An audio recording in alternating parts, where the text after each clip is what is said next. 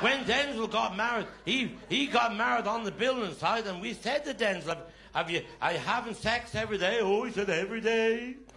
He said, have you tried a little bit up the other hole? Crodo. he said, I couldn't do that. She's the vicar's daughter.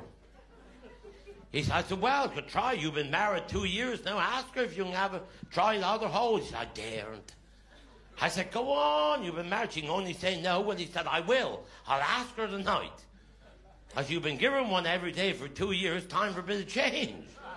He said, I'll ask her tonight. He come in next morning. I said, did you ask her if you tried the other hole? He said, well, I did ask her. But she said, we can't afford children yet.